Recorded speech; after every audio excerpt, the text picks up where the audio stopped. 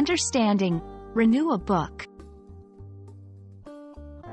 Hello everyone, and welcome to our English language learning series.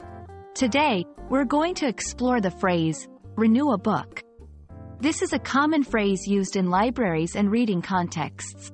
So, let's dive in and understand what it means and how to use it effectively.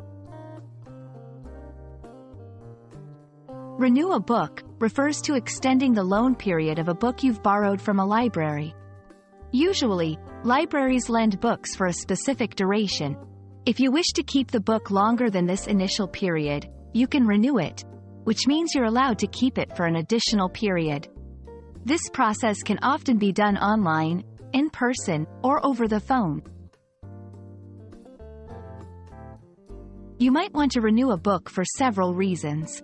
1. More time to read, if you haven't finished reading the book.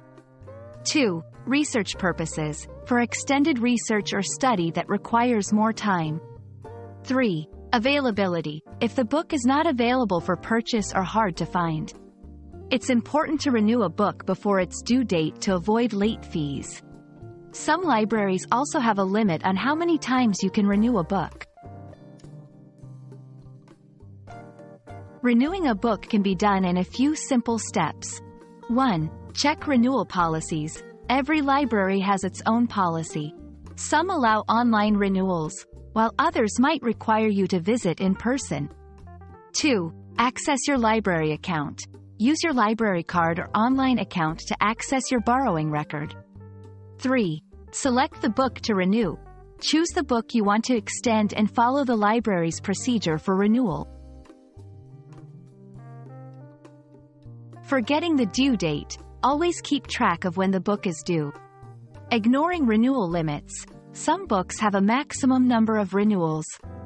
Overlooking overdue fines, not renewing on time might lead to fines. That's all about renew a book. Remember, renewing a book is a great way to manage your reading time effectively while respecting library rules. We hope this video helps you in your English language journey.